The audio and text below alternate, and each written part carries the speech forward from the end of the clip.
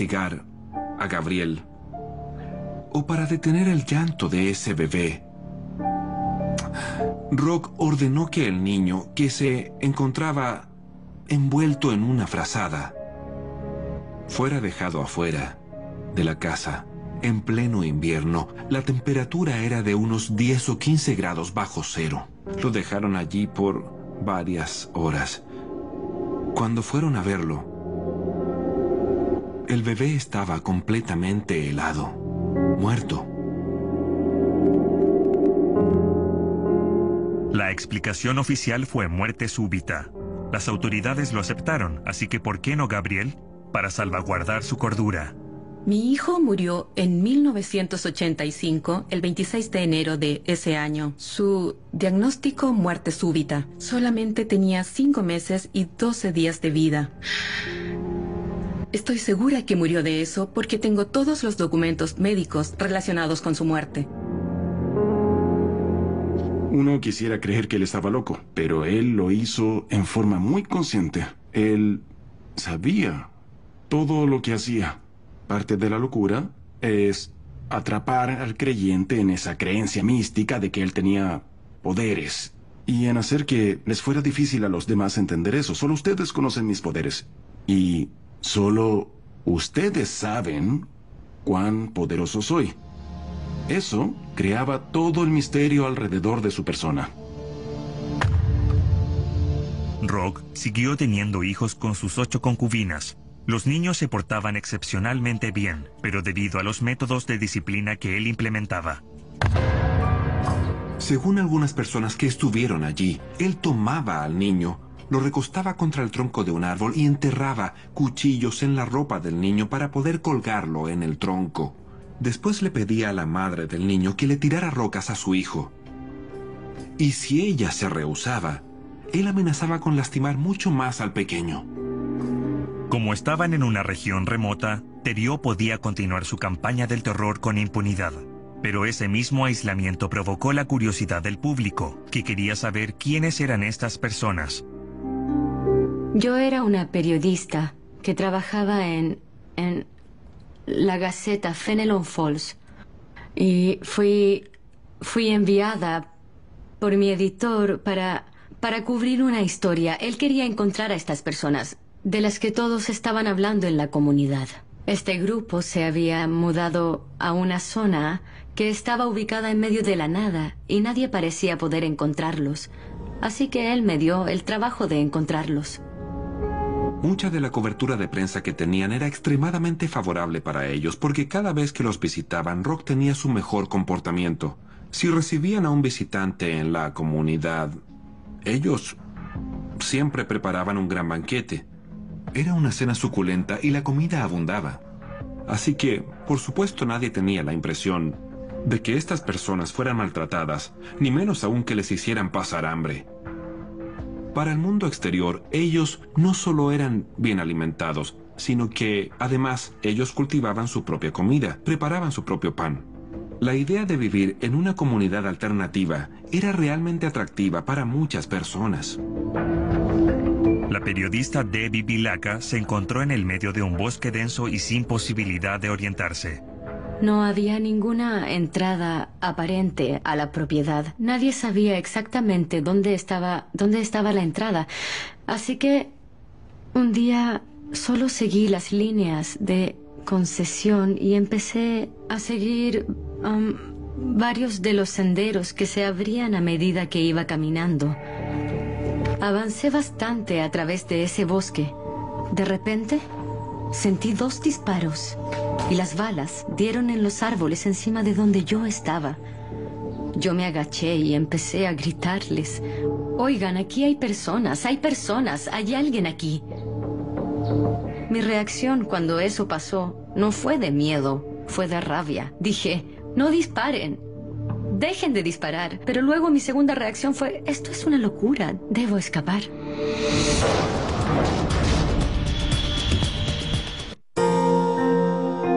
Para Debbie Vilaka, una historia acerca de un grupo de cristianos holísticos que vivían en el bosque de pronto se convirtió en una tarea peligrosa. Ella regresó a esa parte del bosque al norte de Toronto, pero esta vez en un vehículo todoterreno y acompañada de otro periodista. Nosotros seguimos los senderos del bosque, pasamos a través de los arroyos y... habían tupidos arbustos y cuando llegamos finalmente a la instalación de la comunidad ya estaba oscuro. Ellos fueron recibidos por dos de las mujeres de rock que no esperaban invitados para la cena. Ellas estaban muy agitadas. No parecían para nada unas mujeres débiles, en absoluto. Ellas no dijeron, "Ah, ¿qué hacen aquí? No, dijeron, ¿qué hacen aquí? ¿Quiénes son ustedes? Les advirtieron que Rock se molestaría, pero Debbie no se inmutó. Ella tenía preguntas que necesitaban respuestas. Los escoltaron hasta el edificio principal donde Debbie se encontró con 12 niños pequeños sentados en una larga mesa.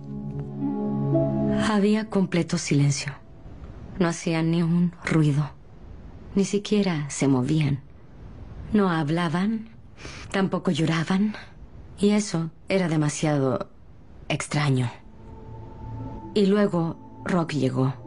Mientras Rock hablaba, Debbie solo tenía un pensamiento en su mente. ¿Cómo era posible que este hombre haya convencido a todas estas mujeres para que vivan con él, como sus esposas, y para tener todos estos niños? Pero su entrevista tendría que esperar mientras él siguiera hablando con metáforas. Él era muy filosófico.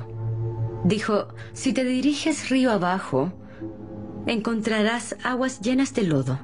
Porque, porque la gente camina por ellas o bebe agua de ellas y las revuelve.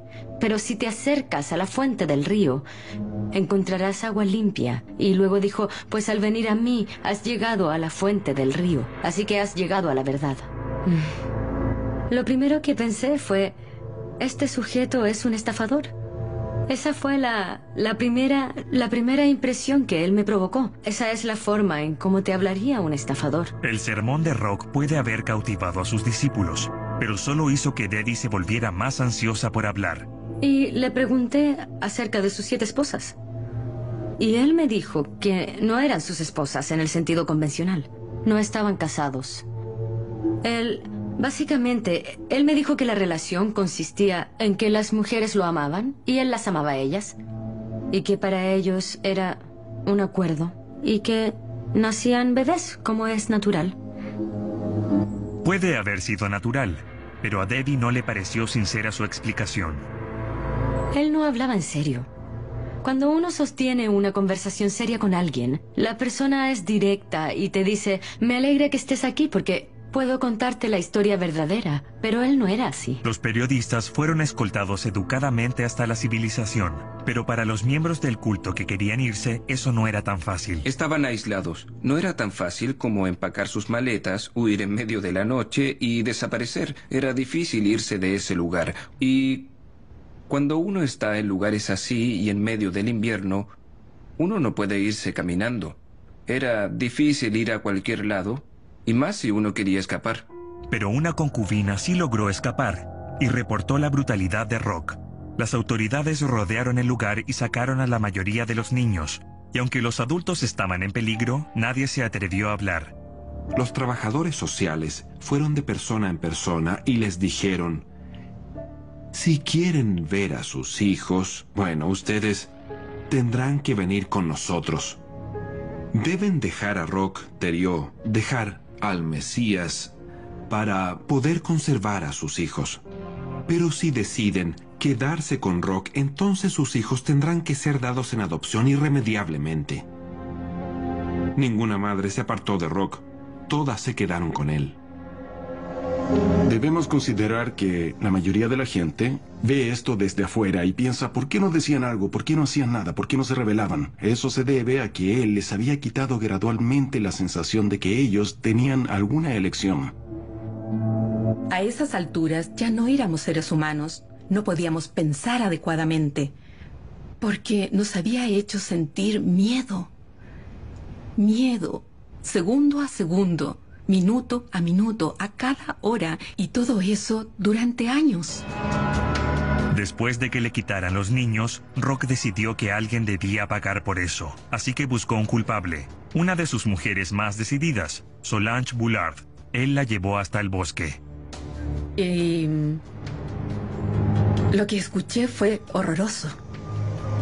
Cuando ella regresó, era evidente que la habían golpeado.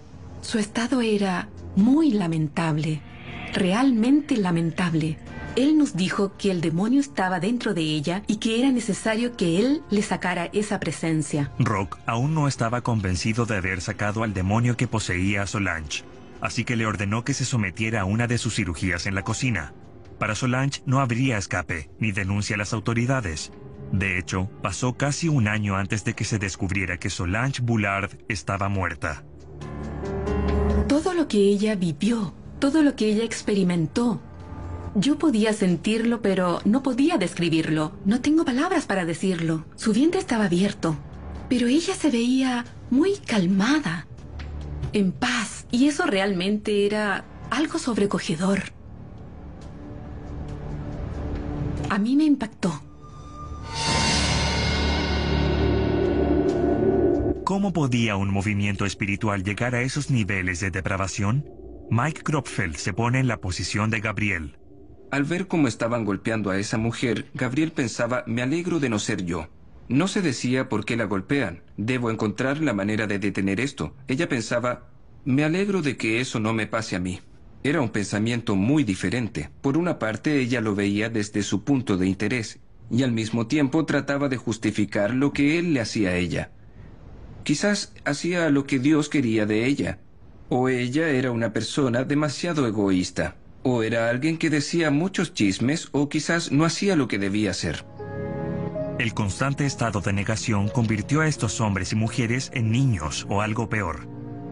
No teníamos ningún poder, ya no podíamos pensar solos porque nos habíamos convertido en zombies. Ya no éramos seres humanos normales, solo éramos zombies. La gente asume que todo estaba planeado, pero no lo estaba. La mayoría de la gente se equivoca y cree que todo lo que está viendo es parte de un plan. Pero no es así, más bien es parte de un proceso continuo. Solo cuando uno habla de ello, al retroceder un poco y ver cómo evoluciona el grupo, es que se pueden ver los procesos que ocurren. Y con Terio, él hacía lo que quería y nadie reaccionaba en contra de él. ¿Qué le impedía seguir adelante? Nada. Ni siquiera Gabriela Ballet con quien las cosas llegaron aún más lejos. Gabriel había irritado mucho a Rock, así que éste decidió que le enseñaría una lección. Él le agarró una de sus manos y la colocó encima de una mesa de madera. Luego tomó un cuchillo y lo enterró en la mano de ella como si le crucificara su mano en la mesa. Créanme, yo creía que iba a morir esa noche. Estaba segura de que moriría. Durante un periodo de 12 años, Rock Terio tuvo 22 niños con 8 mujeres diferentes. Después de que la mayoría de los niños fueron sacados de la comunidad, Rock encontró otras maneras salvajes de alimentar su ego. Él le pidió a todas sus concubinas que le escribieran cartas. En ellas debíamos poner muchas alabanzas. Eso era algo que mi mente rechazaba y me costaba mucho hacerlo. Así que él quiso usarme como ejemplo. Fue como decirles, si son tan tercas como ella, ustedes vivirán lo mismo que ella. Ella ya estaba sufriendo por un brazo roto que estaba infectado. Él le agarró una de sus manos y la colocó encima de una mesa de madera. Luego tomó un cuchillo y lo enterró en la mano de ella como si le crucificara su mano en la mesa, para que ella no pudiera moverse con el cuchillo clavado allí. Yo vi completamente toda la escena, pero yo no sentía nada, ni miedo.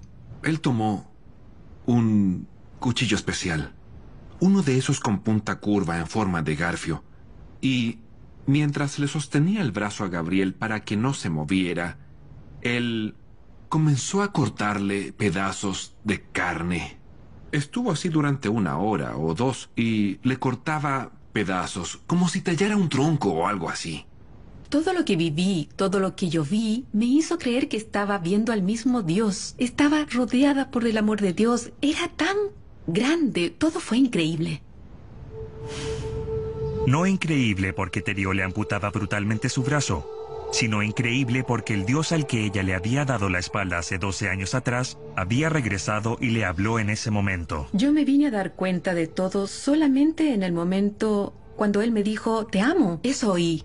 Le escuché decir que él me amaba. Esa fue la oración clave que me ayudó a liberarme de la prisión psicológica en la que me encontraba desde hacía tanto tiempo y a darme cuenta de mi crítica situación porque este hombre de ningún modo podía ser el representante de Dios. No podía. Él era el demonio y yo vi al demonio. Gabriel sobrevivió a la mutilación y durante 19 días esperó el momento para escapar. Era el 14 de agosto de 1989. Fue mi día de libertad, un día tan importante como mi cumpleaños. Ella atravesó todo el denso bosque hasta llegar a Burn River. En el hospital, el doctor dijo que era un milagro que ella estuviera viva. El daño psicológico de 12 años en cautiverio empezó a sanar de forma inmediata.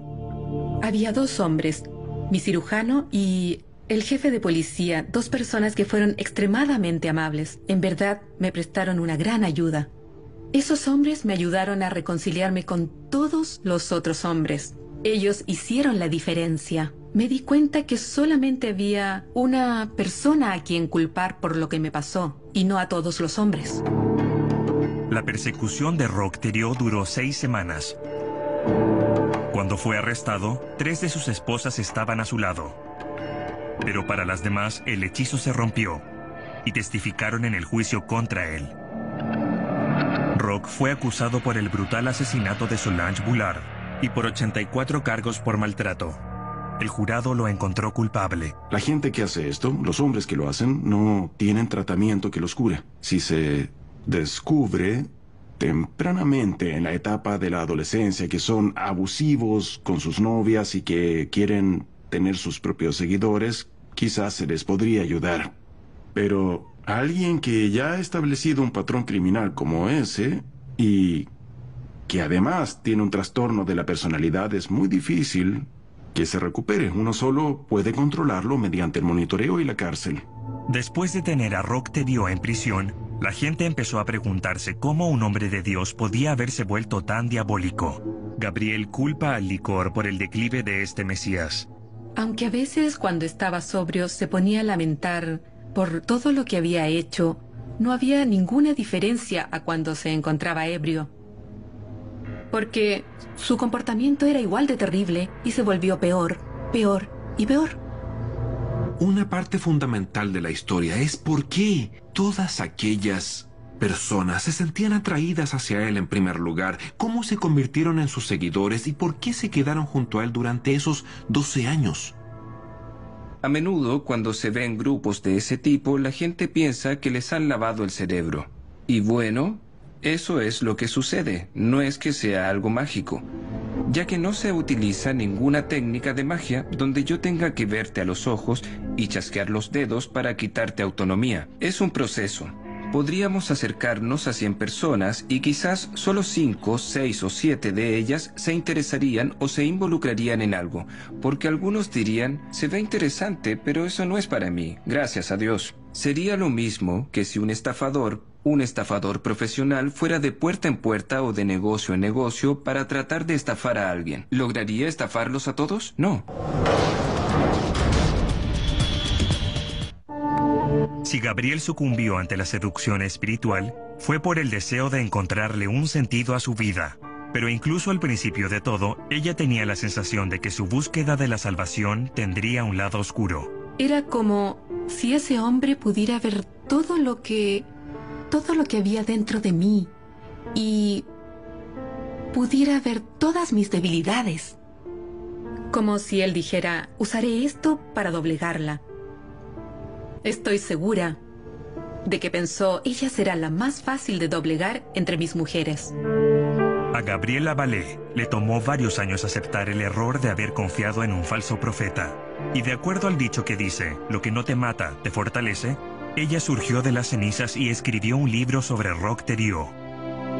Escribir sobre lo vivido durante esos 12 años fue la mejor terapia.